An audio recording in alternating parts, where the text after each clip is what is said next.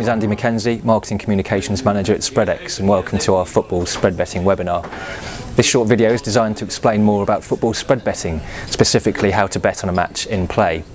To show some examples of how different spread bets work, I'm going to place a number of live spread bets during tonight's game, which is Villarreal v Manchester City in the Champions League group phase. Spread betting is an exciting and fast-paced alternative to traditional fixed odds betting, and at Spreadex we offer both forms of betting, but as most people understand the concept of fixed odds betting, here I'll be focusing on the spreads and looking at some of the betting strategies based around our more popular markets. Now the attraction of spread betting is that get a bet right, you can make many multiples of your stake to turn a profit. However, unlike fixed odds betting, get the bet wrong and you can also lose many multiples of your initial stake. Okay, going into this game, uh, Manchester City, they're on something of a roll. They've won six from six in all competitions, scoring a massive 24 goals along the way. Villarreal, meanwhile, they've got a bit of an injury crisis with a number of key players missing. So on this basis, I'm going to buy City's supremacy at 1.1 for £20. Now, the supremacy market is our prediction of the winning margin in goals one team over another. So our quote for this game is City over Villarreal 0.9 to 1.1. This means I need City to win by at least two goals for this bet to win. If City only win by one goal, if the game is drawn, or if Villarreal win, then this bet would lose. So to give an example of the amount of money I'm risking here, if Villarreal were to win by two goals, I would lose £62. This is minus 2 minus 1.1, which equals minus 3.1 multiplied by my £20. So to look at some different markets, I'm going to sell one pound of shirt numbers at 70. Uh, then this market is based on the number of all the goal scorers shirts added together. So our quote here is 70 to 74, which is quite high. This is due to players such as Nigel de Jong wearing 34, Yaya Toure 42, and Mario Balotelli at 45. So if no goals are scored here, this bet would make a profit of 70 pounds because it would make up at zero. However, let's say Balotelli scores a hat trick uh, and shirts make up at 135, then this bet would actually lose 65 pounds. Uh, and also before kick-off I'm going to place two bets on player goal minutes. Now these are based on the total number of goal scoring minutes for a player. So I'm going to sell a pound of Samir Nasri's goal minutes at 13 and I'm going to buy a pound of James Milner's goal minutes at 10. So for these bets to make a profit I need Nasri not to score or at least to only score in the ninth minute or earlier and for Milner to score at least once from the 11th minute onwards. Okay, I'll place a few more bets during the game, but just reminders, I've bought £20 of City Supremacy at 1.1, I've sold a pound of shirts at 70, sold a pound of Nasri goal minutes at 13, and I've bought a pound of Milner goal minutes at 10. Okay, we're roughly about 15 minutes into the game. It's been a fairly tentative start from both sides. There's been one corner and one long range shot from Villarreal, and that's about it. So if you look at the spread prices now, you'll notice that many have changed. For example, shirts have now ticked down to 61, 65, and this gives me the opportunity to close out by buying back one pound at 65 for a five point profit. I'll close that bet out now so although it's only a small profit, it shows how you can take your money early if you want to, and at least we're off to a winning start. Total goals has moved down from the pre-match price of 2.7, 2.9 to 2.35, 2.55. So I'm going to go in and make a £20 buy at 2.55.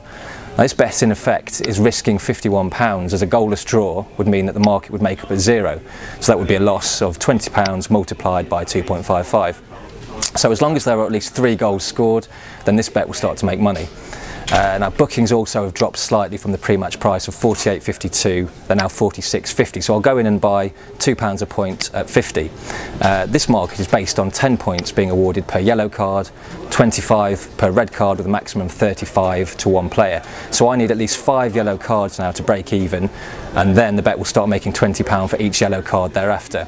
If there ends up being no yellow or red cards in the game and the bet is allowed to run to expiry then it will have lost £100. Um, although there has already been one corner uh, in the game, the corners quote is now down from the opening price of 10.2, 10.7 to 9.2, 9.7. So I'll place a £5 buy of corners at 9.7 in the belief that there will be uh, at least 10 corners taken in the game for this bet to start making money. Uh, in a worst case scenario, uh, this market could make up at one because there's been one corner already.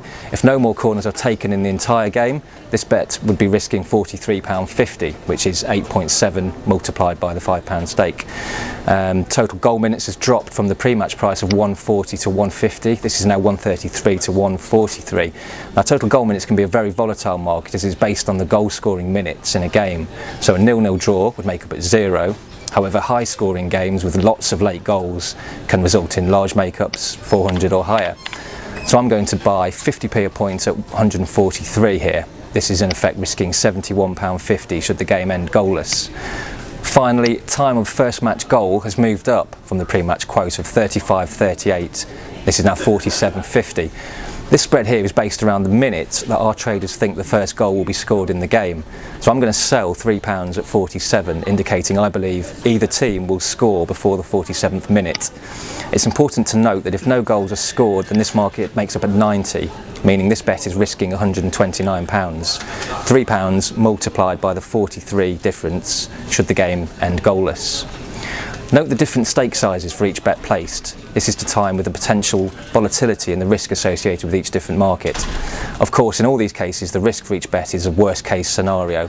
You can close bets out early to cut your losses should you feel they're not going your way, and we may well see some examples of that as the night goes on. So to recap, I've bought back one pound of shirts for a five point or five pound profit. I'm still running my 20 pound City Supremacy buy at 1.1, the one pound sell of Nasri goal minutes at 13, and the one pound buy of Milner goal minutes at 10. And I've now opened a series of new bets, these being 20 pound buy of total goals at 2.55, £2 buy of bookings at 50, a £5 buy of corners at 9.7, 50p buy of total goal minutes at 143 and a £3 sell of first match goal at 47. Right, we're half an hour into the game now, and Yaya Toure has just opened the scoring for City. Quite a well taken goal, actually. So, as you might expect, the prices for some markets here have jumped quite a bit, while other bets have now closed, uh, including the £3 sell of the first match goal. So, this has been automatically closed out at 30 for a 17 point profit. Uh, or a £51 profit. This is 47 minus 30 multiplied by my £3 stake. You can also see that supremacy spread, that this has moved from 1.4 to 1.6. Uh, this means this bet is now winning, offers me the chance to close out early for a 0.3 profit or £6 profit should I wish to. Total goals has also moved up now. This is 2.75 to 2.95. Uh, this means this bet is also on side by 0.2 or £4 if I wanted to close out early. And total goal minutes, this is also at 144 to 145, winning by just a point or 50p if I close now. However, I'm going to let all these bets run as we're only a third the way into the match. Uh, I'm feeling confident there's plenty of scope for more goals to be scored. Now, as Toure was wearing 42, the shirt spread, this has jumped quite quite a lot to 85, 88, uh, indicating it might have been quite a wise decision to close out of the shirts bet early, as this bet would now be 18 points or 18 pounds offside if it was still open. There's still only been one corner, uh, one corner taken. This means the quote's dropped down to 6.9 to 7.4 so far. So this bet is currently offside, uh, would result in a loss of 2.8 points or 14 pounds should I close it now. However, I'll also let this one run. Uh, one bet that will close though is the bookings bet. Uh, there's been two yellow cards already and the quote is now up to 62, 66. so I can sell back uh, at 62 at, uh, at 62 sorry for a 12 point or 24 pound profit.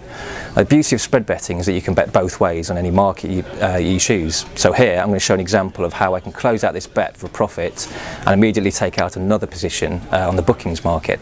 So I'm going to sell 5 pound this will take the £24 profit and open up a new bet, which is a £3 sell of bookings at 62.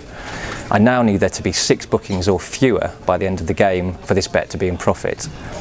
If the game degenerates into a free-for-all, and let's say there were further five yellow cards and a red card, and this market makes up quite high at 95, then this bet would stand to lose £99. So to recap, I've already made five points or five pounds from the shirts bet, 17 points or 51 pounds from the first match goal bet, and 12 points or 24 pounds from the first bookings bet.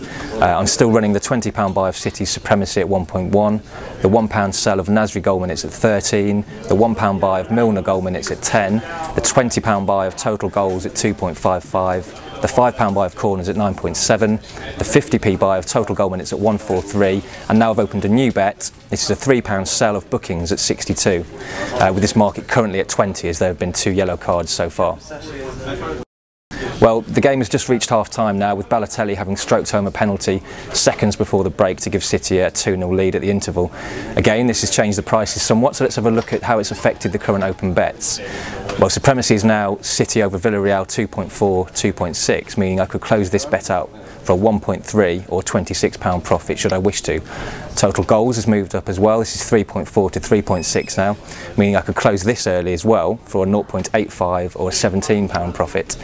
Uh, total goal minutes, this is now up to 1, uh, 178, 188, giving me the opportunity to close out now for a 35 point or a £17.50 profit. Um, as neither Nasri or Milner has scored, I'm going to let both these player goal minute bets run. Uh, not all the bets are going my way, however. There has been uh, still only one corner, um, even though we've got to half time, meaning the corner quote's now down to 5.5 to 6. And there have been another three bookings since I opened uh, a new bookings bet, meaning this market is currently at 50, with the quote now up to 83, 86. So I'm going to bite the bullet with the corners bet, and I'm going to close out early by selling back £5 at 5.5. Now this will give me a 4.2 point or a £21 loss. Um, we'll look at the final market makeup at the end, uh, at the end of the game, see if this was a wise decision or not. Meanwhile, I'll keep the bookings bet running.